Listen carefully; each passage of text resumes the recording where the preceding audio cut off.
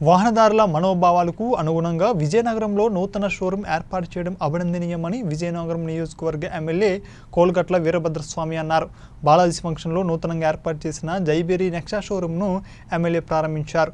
నిర్వాహకులు ఎమ్మెల్యే కోల్గట్లకు సాదర స్వాగతం పలికారు. ప్రత్యేకమైన ధన్యవాదాలు తెలియజేసుకుంటున్నాం. సార్ ఈరోజు జేబిరి నెక్సా షోరూమ్ ఓపెన్ చేయడానికి వచ్చిన కార్పొరేట్ కంపెనీ సంస్థ విజయనగరంకి వచ్చి ఆ, వాళ్ళు రియల్ ఎస్టేట్లో ముందుగా దీన్ని అభివృద్ధి పదంలో నడుపుతున్నారు. అంతేకాకుండా ఈ సిటీలోని కార్నర్ టు కార్నర్ తిరిగితే చాలా బ్రాండెడ్ షోరూమ్స్ కానీ లేకపోతే కార్పొరేట్ కంపెనీస్ కానీ ఇవన్నీ వైజాగ్ తర్వాత విజయనగరం గ్రోయింగ్ మార్కెట్ అని వ్యాపార సంస్థలు అందరూ కలిసి విజయనగరం అభివృద్ధి చెందుతున్నారు. దానికి తోడుగా జేబేరీ కూడా రెండు వేల పదకొండులో ఈ మారుతి సుజుకి ఎరీనా అనేది స్టార్ట్ చేయడం జరిగింది.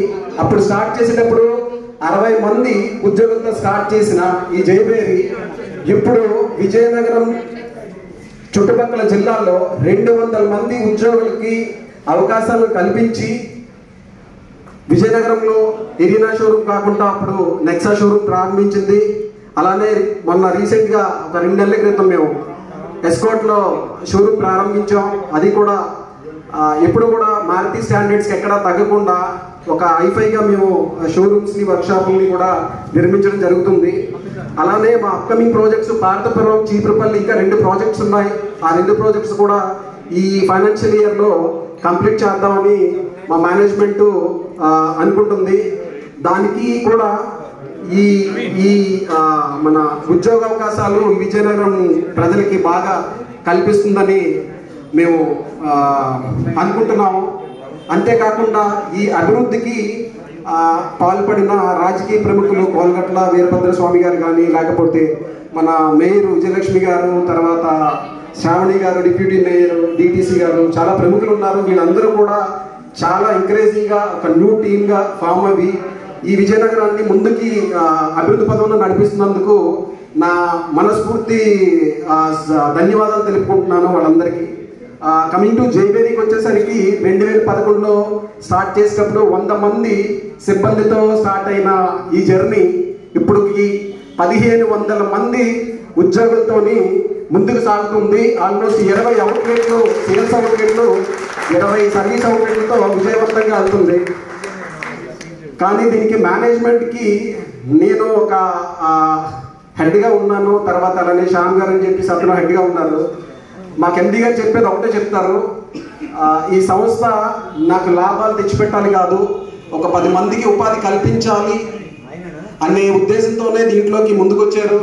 అలానే మాకు ఎప్పుడు చెప్తారు నష్టం రాకుండా మీ బిజినెస్ మీరు చేసుకోండి. మీ ఫ్యామిలీస్తో మీరు అందరూ బాగుండండి అని ఎప్పుడు చెప్తూ ఉంటారు. అలాంటి మేనేజ్మెంట్లో పనిచేసినందుకు మనందరం ఇక్కడ ఉన్న ప్రతి ఉద్యోగి కూడా తెలుసు. ఆల్రెడీ పేపర్లో కూడా న్యూస్ ఆర్టికల్స్ వచ్చాయి. ప్రతి కుటుంబానికి గాను మేనేజ్మెంట్ ఐదు లక్షల రూపాయలు ఆర్థిక సహాయం చేయడం జరిగింది. అలానే యాక్సిడెంట్లో చనిపోయిన విజయనగరం ఒక ఉద్యోగి ఒక డ్రైవర్ యాక్సిడెంట్లో చనిపోయాడు. వాళ్ళ ఫ్యామిలీకి గాను పది లక్షల రూపాయలు మేనేజ్మెంట్ నుంచి సపోర్ట్ చేయడం జరిగింది.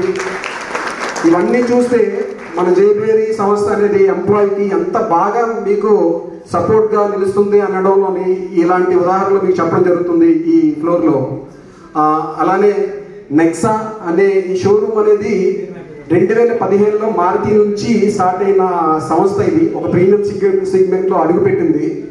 అడుగుపెట్టినప్పుడు వంద అవుట్లెట్తో స్టార్ట్ అయిన ఈ నెక్సా ఇప్పుడు మూడు వందల యాభై సేల్స్ అవుట్లెట్లు మూడు వందల సర్వీస్ అవుట్లెట్లతో దిగ్విజయంగా ముందుకెళ్ళిపోతుంది. దానికి కారణం ఈ కస్టమర్లు ఇచ్చే అభిమానం ఈ ప్రోడక్ట్ ఫోన్లో కూడా వచ్చేసరికి బెనీనం. ఆరు సంవత్సరాల్లో వన్ మిలియన్ మైల్ రాని దాటింది. అలానే ఒక నెక్సా అనేది ఆటోమొబైల్ రంగంలో ఒక నూతన వరవడిని చేర్చింది. కస్టమర్లకి బెస్ట్ ఎక్స్పీరియన్స్ ఇవ్వాలి. ఏంటి? అన్ని డిజిటలైజ్ కూడా కస్టమర్కి ఇంట్లో కూర్చొని కార్ సెలెక్ట్ చేసుకునే విధంగా అంత అంబియన్స్ని సెంట్రల్ ఏసీని అలానే చాట్ బాక్స్ని అలాగనే మీకు డిఫరెంట్ పార్ట్స్ని అన్నీ కూడా అందుబాటులో ఉంచడం జరుగుతుంది.